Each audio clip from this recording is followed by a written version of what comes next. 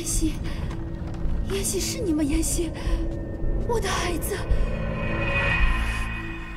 怎么了？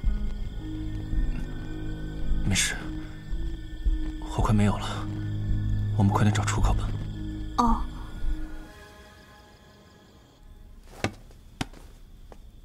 二少爷，这是夫人命人送来的书信。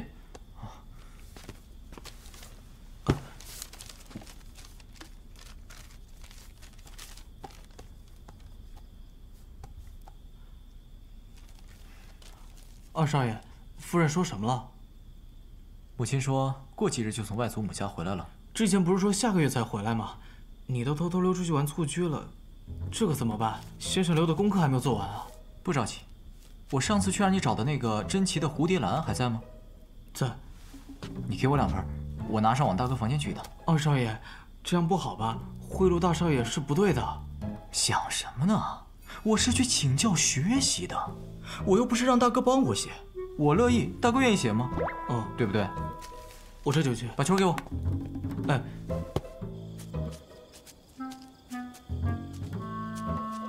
我们从这出去吧。上锁了。我以前学过撬锁，我试试。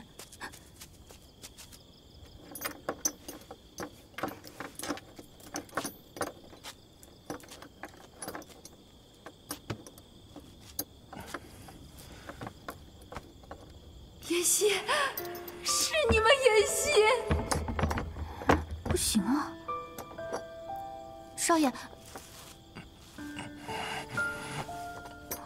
少爷，少爷，好冷，不会是那天掉到莲花池里着凉了吧？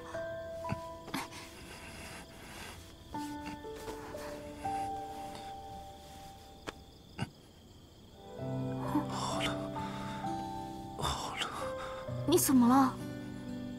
好了。来，母亲别走。母亲，啊，没事啊，我在，我在，得赶紧想办法出去。哎。元赫，你们这干什么呢？大少爷去别院救人了，让我带人来。救什么人？大少爷的贴身侍女叫苏小婉。苏小婉，我跟你一块去。啊，走。救命啊！有没有人呢？快来人啊！苏小婉的声音。等着，马上就来。是阿叶哥哥的声音。阿叶哥哥，您知道苏小婉？后门，苏小婉，苏小婉。阿叶哥哥，苏小婉，这门锁了，你们找根木头把门撞开，快去，快去，去！少爷，你坚持住啊，马上有人来救我们了，少爷。少爷，快快快，一二三，一二三，一二三，快来救人！少爷病了。怎么回事？大少爷他怎么了？少爷病了，你快送大哥回房间，叫大夫去。你们叫大夫去。是是，二少爷。二少爷，你是二少爷？啊，我，其实我，我，我要去看冰块脸怎么样了。哎，对了，今天谢谢你啊，我先走了。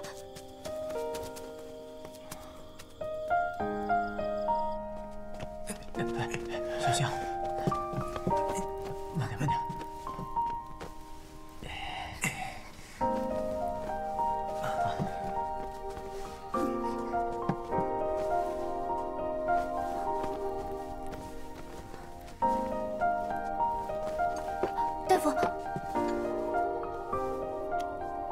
为大少爷诊治，请你退到房外吧。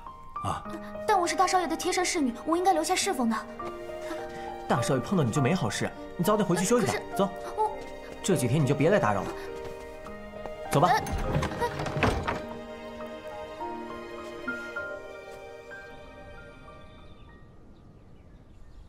点到名的都给我站出来！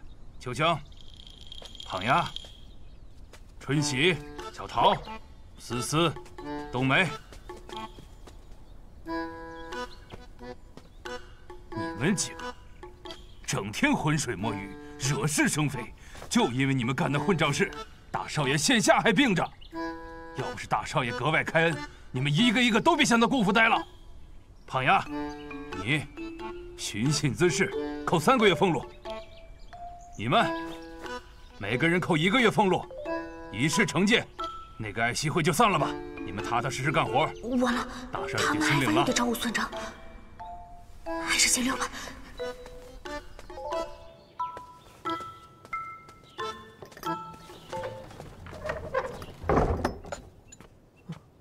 你怎么来了？我来打扫啊。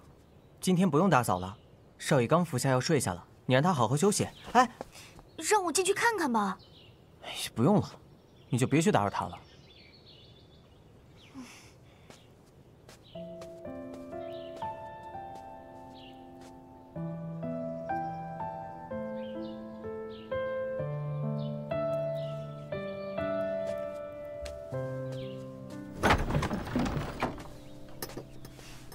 你们什么？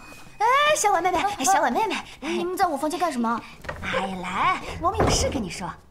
这是啊，以前的事儿，希望你大人不计小人过。你是大少爷的救命恩人，从今以后也就是我们的救命恩人。救命恩人？嗯，是啊，你在别院照顾大少爷的事情，府内上下早就传遍了。嗯嗯，什么事儿啊？